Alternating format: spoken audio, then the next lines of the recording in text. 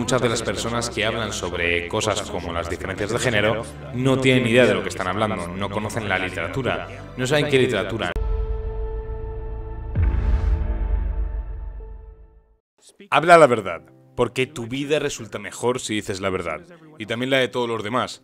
Así que en la serie de conferencias bíblicas lo hice, miren el primer capítulo del Génesis y una teoría allí, es una teoría realmente interesante, y la realidad es que hay tres partes en el ser. Hay caos y potencial, y ese es el potencial que debes aprovechar porque todo el mundo dice, debes estar a la altura de tu potencial. Es como, ¿qué diablos es eso? No puedes medirlo, tocarlo o saborearlo. Siéntelo, es algo hipotético que todo el mundo considera real. Es como si fuera el futuro. ¿Qué es el futuro? Todavía no está aquí, no puedes medirlo, lo que te pone a pensar que es real. Actuamos como si fuera real y eso parece funcionar. Entonces hay un potencial que es caos, potencial caótico. Luego hay orden y esa es la estructura que necesitas para enfrentar el caos. Y naces con eso biológicamente. Y luego está tu capacidad de invocar desde el potencial nuevo orden. Eso es lo que, lo que haces con tu palabra. Eso es lo que sucede. En el primer capítulo del Génesis, Dios usa el orden de Dios, digamos que usa el poder de la palabra veraz, que es el logos para transformar el potencial en orden. Las personas están hechas a imagen de eso. Existe esta teoría, es una teoría encantadora que se presenta justo al comienzo de la Biblia, que dice que si dices la verdad, transformas el potencial de ser en una realidad habitable. Así es como funciona. ¿Cómo haces el mundo mejor? Di la verdad porque el mundo que creas como consecuencia de decir la verdad será un mundo bueno. Y creo que es cierto. Creo que es cierto metafóricamente, creo que es cierto teológicamente. Y creo que es cierto a nivel práctico y científico. Otra cosa que realmente aprendí bien no solo del Nuevo Testamento, es que hay maldad en el mundo de todo tipo y parte de ella es la maldad de otras personas. Parte es la maldad en el corazón de tu hermano, pero la parte sobre la que realmente puedes hacer es la malebólica en tu propio corazón. Realmente puedes hacer algo al respecto y es mucho más útil de lo que crees, porque si puedes enfrentarlo en ti, entonces comienzas a entenderlo. Y eso también te hace lo suficientemente fuerte para identificarlo y luchar contra él cuando lo ves en el mundo externo. Además, no haces ningún daño, es como si hubiera mucha gente en todo el mundo saliendo y haciendo cosas reprobables. Podría decir, bueno, deberías salir y protestar contra ellos. Como entonces. A veces deberías hacerlo, pero la mayoría de las veces deberías pensar, ¿estoy por debajo del ideal? Mi propio ideal no tiene que ser uno que alguien te imponga. ¿Estoy amargado? ¿Estoy haciendo del mundo el peor lugar de lo que tiene que ser? Como si te haces estas preguntas te das un gran shock, di bueno, ¿qué pasaría si dejas de hacer eso? Se trata de dejar de decir cosas que te debilitan, dejar de decir mentiras, Dejar de hacer cosas que sabes que son inútiles y contraproducentes. Apuntar alto, adoptar algo de responsabilidad. La sensación del compromiso significativo es el antídoto contra la malevolencia y el sufrimiento. Esencialmente porque quieres tener una vida que sea tan atractiva que pienses a pesar de que soy limitado y que somos mortales y esa vida es tragedia y maldad en el mundo a pesar de todo.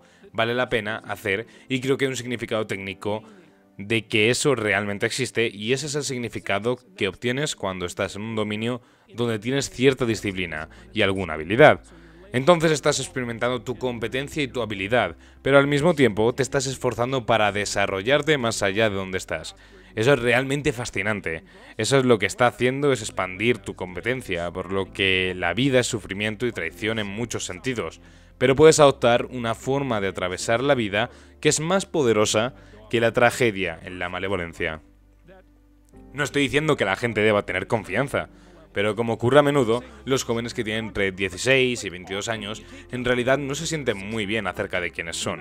Tienen razón porque su vida es caótica y en desorden y no saben hacia dónde van. Tienen que tratarse con precisión. Debes tratarte a ti mismo como si fueras valioso, especialmente en potencial, pero debes concentrarte en quien debes convertirte especialmente si eres joven digamos que eres miserable y nihilista y caótico y deprimido y todo eso y tienes tus razones, abuso parental, todas esas cosas.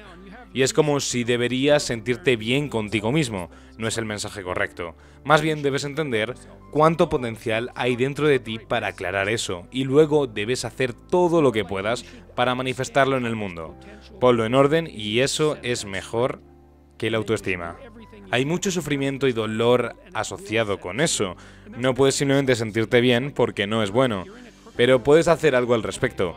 Realmente puedes hacer algo al respecto y creo que toda la evidencia sugiere que ese es el caso.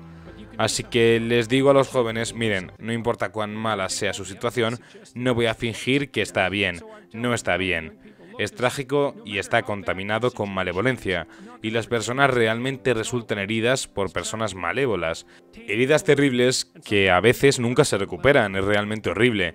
Pero hay más en ti de lo que piensas, y si te levantas y lo enfrentas con una actitud positiva, con una visión noble, con disciplina e intención, puedes llegar más lejos de lo que imaginas para superarla. Y ese es el principio sobre el cual debes basar tu comportamiento. Hay un montón de cosas que temes y que se interponen en tu camino. Tienes una visión de quién quieres ser. Si quieres tener éxito en tu carrera, tienes que aprender a hablar. Frente a un grupo y tienes miedo en eso, no es de extrañar que no quieres ser humillado. Entonces, ¿qué hacemos al respecto?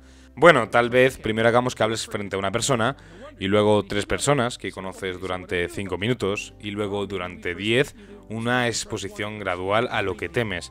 La exposición gradual voluntaria a lo que temes es curativa. Así es como la gente aprende a hacerlo. Si te enfrentas al mundo con franqueza, si dices la verdad y te expones con valentía a aquellas cosas que temes, tu vida mejorará y también lo hará la vida de las personas que te rodean. Eso es lo más cercano a un hecho innegable que tenemos y también encaja muy bien con las historias arquetípicas subyacentes. Las historias heroicas es como salir, encontrar al dragón, enfrentarlo, podría comerte, es peligroso, pero es peor acobardarse en casa y esperar a que venga y te devore. Sal, confróntalo, consigue el oro. Si tu familia está desordenada, de lo que podría estar menos desordenada, Simplemente, si actúas un 10% mejor, tu familia sería un 1% mejor. La gente piensa que somos 7.000 millones de personas y cada uno de nosotros es solo ese foso de polvo separado, como si flotara en el cosmos y qué diablos importa lo que hagas de todos modos. No es así como estamos conectados. Es como el centro de una red. Conoces a mucha más gente que esta, pero digamos que normalmente conoces a mil personas en tu vida, lo suficientemente bien como para tener un impacto en ellas.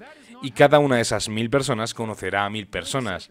Así que tú estamos a un paso de un millón y a dos pasos de mil millones. Y técnicamente estamos conectados en red. Así es como funcionan las interacciones humanas. Cuando haces algo que no deberías hacer, es peor de lo que piensas. Y cuando haces algo que deberías hacer, es mejor de lo que piensas. Y entonces piensas bien. Por lo que he estado diciendo a la gente que limpie su habitación, es como si tu habitación también estuviera conectada a la red. No es tan fácil limpiar tu habitación, configurarla de la manera que quieras. Que tu habitación esté configurada para cuando entres allí te diga que seas mejor de lo que eres. Generalmente está organizado, tiene dirección, todo está en su lugar. Intenta hacer eso en un lugar caótico. ¿Sabes que he visto gente hacer esto porque tenía estudiantes? Elige un pequeño objetivo moral, limpia tu habitación y simplemente escribe lo que sucede como consecuencia. Tal vez sean estudiantes en una casa caótica. Todo el lugar un maldito desastre. Nadie acepta ninguna responsabilidad de cualquier cosa. Entonces decides empezar a limpiar tu habitación y entonces crees que la casa se da cuenta. Lo primero que hacen es enojarse. ¿Quién te crees que eres? Crees que eres. Mejor que nosotros porque crees que vale la pena. Así que con todo, solo tratar de organizar esta pequeña parte de su vida inmediatamente se topan con personas cuyas acciones están arrojando en una luz tenue tratando de mejorar hasta cierto punto. Tal vez tendría que haber una guerra total en su hogar para poder hacer algo tan simple y como mantener la habitación ordenada, descubren muy rápidamente que es mucho más difícil de lo que parece. Las consecuencias son mucho más trascendentales de lo que la gente piensa. Así que es bastante divertido. Porque parte de esto es que, como todo lo que te rodea, está lleno de potencial. Todo tal vez tenga más potencial del que jamás podrías utilizar. Esta pequeña habitación, que es una madriguera de ratas, en algún lugar deteriorado del mundo es como si la arreglaras. Hay más allí de lo que crees. Mira lo que pasa si arreglas y te arreglas a ti mismo simultáneamente, porque tendrás que ser disciplinado para arreglar la habitación. Entonces, tienes una habitación arreglada y sos una persona más arreglada. Hay un agujero en nuestra cultura donde debería haber una discusión sobre la madurez, la verdad, la responsabilidad. Nadie habla de eso. ¿Qué debes hacer con tu vida? Cuídate, pero cuídate de una manera que también signifique que simultáneamente estás cuidando tu familia. Y eso, y también signifique que simultáneamente estás cuidando a la comunidad en general. Ese es tu objetivo. Así que oriéntate hacia ese éxito personal, pero de una manera que tu éxito genere éxito. Si vas a establecer un objetivo, ¿por qué no establece un objetivo realmente bueno? Eso es bueno. Es bueno para ti. Es bueno para todos los demás. Eso le dará algún significado a tu vida.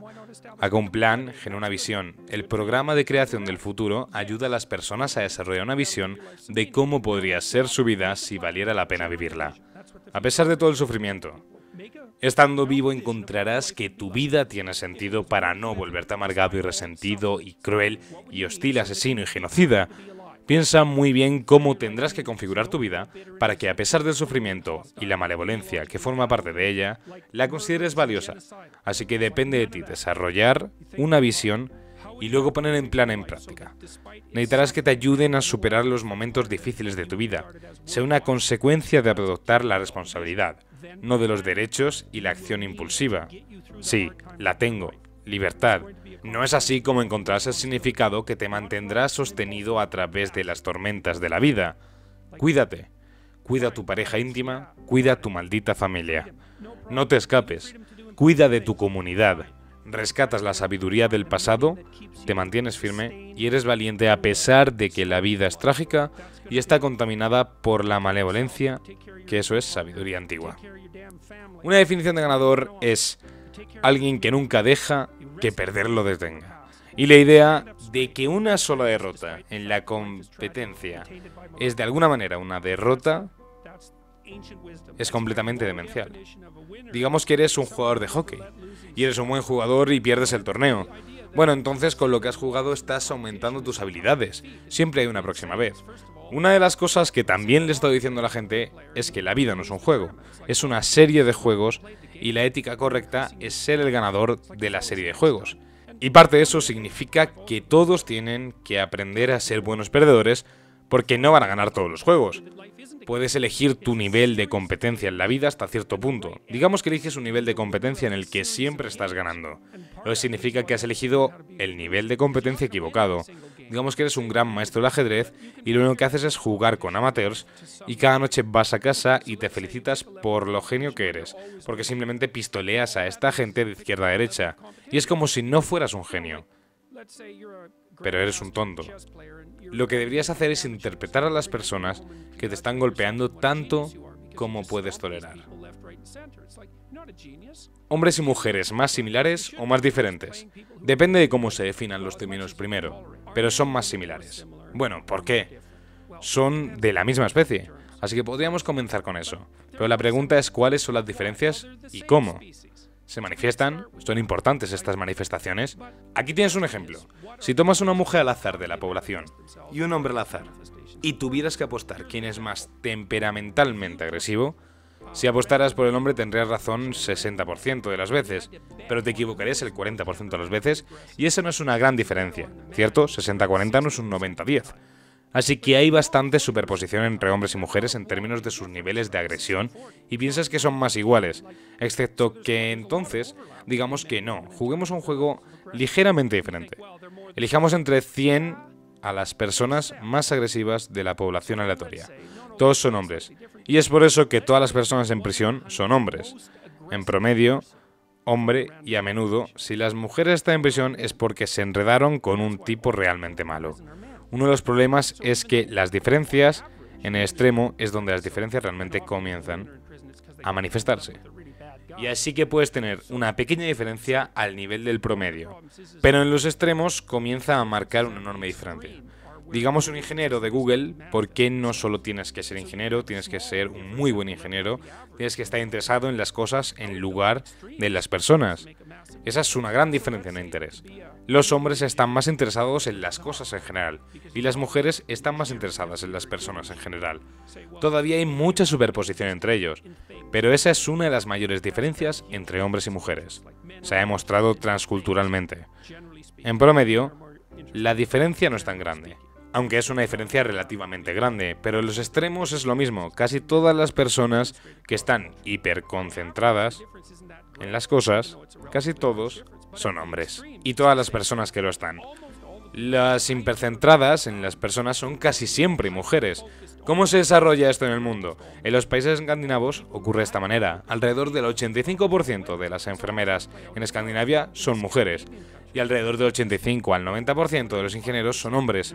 Esto no significa que las mujeres no puedan ser ingenieros, no significa que los hombres no puedan ser enfermeros, no tiene nada que ver con la inteligencia, sino con el interés, y las diferencias de interés son grandes en los extremos en particular.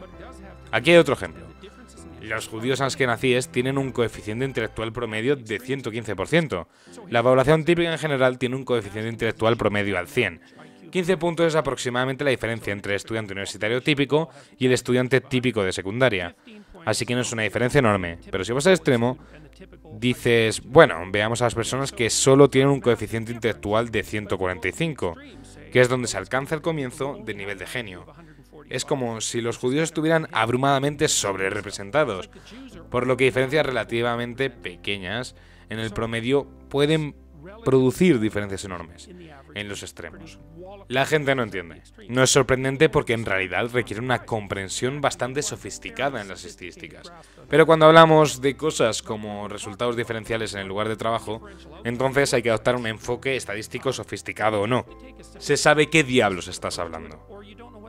Hay un buen estudio realizado hace un tiempo y desafortunadamente no recuerdo el autor, pero estaban mirando a los prodigios de las matemáticas de la secundaria y están distribuidos de manera bastante equitativa entre niños y niñas.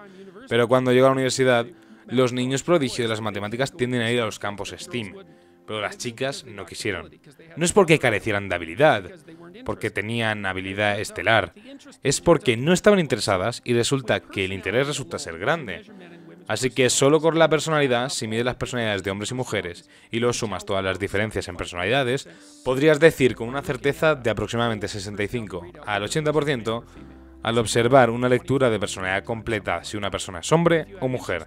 Entonces estarías equivocado en un 25% de las veces, algo así. Pero si le agregas interés, puedes obtener hasta aproximadamente el 90%.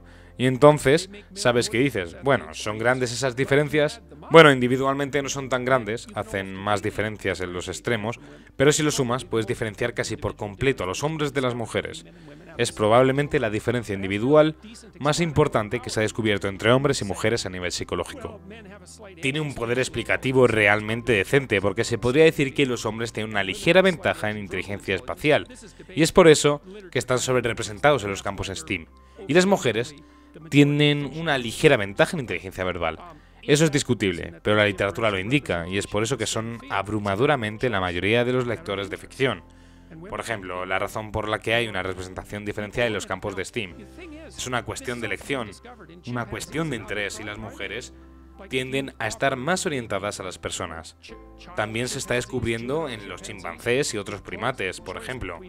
Si se les ofrece a los chimpancés bebés o niños, a los chimpancés jóvenes la posibilidad de elegir entre juguetes como coches o a la gente le gustan los juguetes como las muñecas, los machos irán por cosas como juguetes y las hembras irán a por los juguetes parecidos a las personas. Así que ves eso en los primates y piensas, es sorprendente. Bueno, no, no lo es. No es tan sorprendente en realidad. Quiero decir, las mujeres tienen que cuidar a los bebés, a los bebés pequeños, y hay que estar realmente orientada a las personas para hacerlo. Porque un bebé pequeño en una relación social increíblemente exigente y es una relación primaria durante aproximadamente dos años, y por eso las mujeres se inclinan hacia el tipo de temperamento que lo hace posible. Desafortunadamente, muchas de las personas que hablan sobre cosas como las diferencias de género no tienen idea de lo que están hablando, no conocen la literatura, no saben qué literatura, no entienden la biología, como los construccionistas sociales, los tipos de estudios de mujeres, los neomarxistas les importa un comino la biología. Es como si habitaran un universo incorpóreo. No soporto la política de identidad y he estado advirtiendo sobre las consecuencias de la derecha. También porque lo que veo que sucede es que la izquierda, digamos, la izquierda define el territorio lingüístico, que es lo que yo estaba objetando. El proyecto de ley C16, cuando se le dije, mira, no voy a usar neologismos, Z y ZUR, etcétera, porque en lo que a mí respecta hay como 70 categorías diferentes de género no binario. Algo así ahora hay listas de pronombres que hipotéticamente las personas que están en estas categorías pueden elegir para ser dirigidas. Y ahora esto tiene fuerza de ley. No me importa si eligen ser dirigidos por estos pronombres, sea lo que sea, que dependa de ellos y de cualquier otra persona a la que puedan convencer, preguntar, suplicar o negociar está bien. Tan pronto como sea ley, esta es una historia completamente diferente. Así que ahora tengo que usar cierta terminología. Entonces miro la derivación de la terminología. Digo que es terminología generada por los neomarxistas posmodernos. Bueno, creo que esas personas son repensiblemente asesinas. Así que adivina qué, no voy a decir sus palabras. Punto. Porque sé cómo son. Sé a dónde lleva eso.